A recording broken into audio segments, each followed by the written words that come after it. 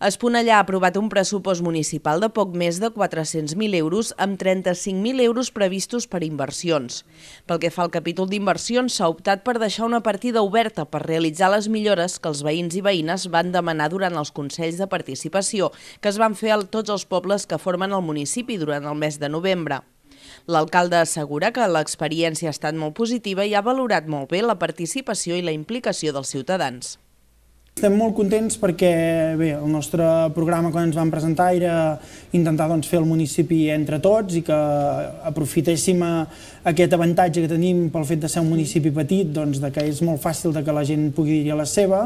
I aquesta primera tongada que hem fet de Consells de Participació estem molt i molt contents de, de la rebuda que han tingut, de la quantitat de gent que ha participat, de, de lo interessants que són les propostes que ens han fet arribar, moltes coses doncs, potser ja nosaltres les intuïem, però el fet de que els veïns de primera mà, que són els que viuen a cada un dels pobles, doncs et diguin això, no? falta aquest enllumenat o falta uh, un altre tema, doncs uh, això fa que, que tinguis la, la certesa no? que aquestes inversions seran, seran ben fetes. Actualment s'estan estudiant totes les propostes, com la millora de l'enllumenat de Santenys o diferents actuacions a la via pública del nucli d'Esponellà.